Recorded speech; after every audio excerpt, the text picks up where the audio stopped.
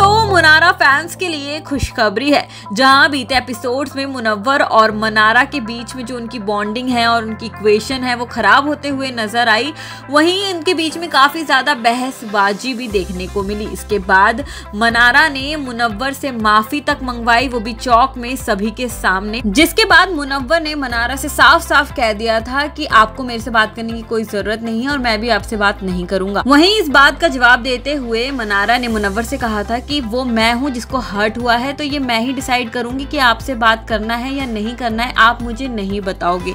इसके बाद काफ़ी देर तक दोनों के बीच में बातचीत बंद रही, लेकिन ऐसा लग रहा है कि अब दोनों के बीच में पैचअप हो गया है। यही नहीं, बल्कि मनारा ने मुनवर को कॉफ़ी भी ऑफ़र की। जी हाँ मनारा ने मुनावर से कहा कि चले कॉफ़ी पीने के लिए तो इस पर मुनवर जवाब देते हैं कि क्यों नहीं, तू पिलाएगी तो ज़रूर। इसके बाद दोनों चल पड़ते हैं किचन की तरफ़, जहाँ पर ऑलरेडी अभिषेक, ऐश्वर्या, नील, भट्ट विकी सभी लोग मौजूद रहते हैं, क्योंकि दिल के मकान का कुकिंग का टाइम होता है। और क्योंकि दिल वाले मकान का टर्न है तो इस वजह से जो दिमाग के घर वाले हैं, वो गैस का इस्तेमाल नहीं कर पाएँगे, इसीलिए मनारा जो है, वो कोल्ड कॉफ़ी बनाती है अपने और मुनवर के लिए। इसके बाद अभिषेक इन दोनों को एक साथ देखते हैं और कहते हैं कि तुम लोगों का सही है यार, कभी लड़ाई झगड़ा करते हो, कभी मिल जाते हो, बिल्कुल टॉम एंड जेरी जैसी जोड़ी है। इसे मुनवर कहते हैं, यार, दोस्ती यारी में तो ऐसा चलता ही रहता है, कोई बात नहीं, होता है। लेकिन किचन में मौजूद ऐश्वर्या को ये चीज़ें शायद पसंद नहीं आती हैं और ऐश्वर्या मनारा को टोक देती हैं कि हमारा टर्न है किचन यूज़ करने का तो तुम इसमें कुछ भी नहीं बना सकती हो। इस पर मनारा जवाब देती है कि मैं गैस का इस्तेमाल नहीं कर सकती हूँ, इसीलिए मैं कॉफ़ी नहीं बना रही हूँ गैस पर।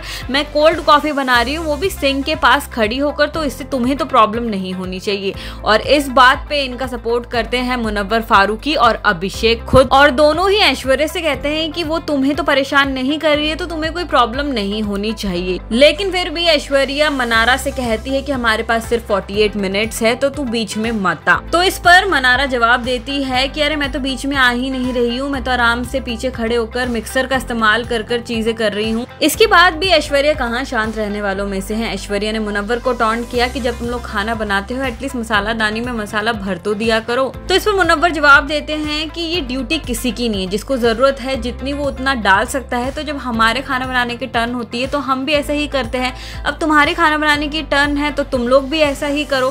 तुम इस चीज़ के लिए किसी को ब्लेम तो नहीं कर सकते हो। वेल well, यहाँ साफ़ साफ़ नज़र आ रहा है कि ऐश्वर्या किसी ना किसी बात से लोगों के साथ बहस करने के लिए रेडी है। वो चाहती हैं कि सामने से लोग ट्रिगर हो और उनसे लड़ाई करे। वेल well, इन सब चीज़ों को लेकर आपका क्या है कहना हमें कमेंट सेक्शन में ज़रूर बताना। साथ ही ऐसे ही टीवी और बॉलीवुड से जुड़ी तमाम खबरें जानने के लिए आज ही फ़िल्म वीट को सब्सक्राइब करें। और अगर आप हमारे ये वीडियो फेसबुक पर देख रहे हैं तो वहाँ पर भी हमें फॉलो करना बिल्कुल ना भूलें।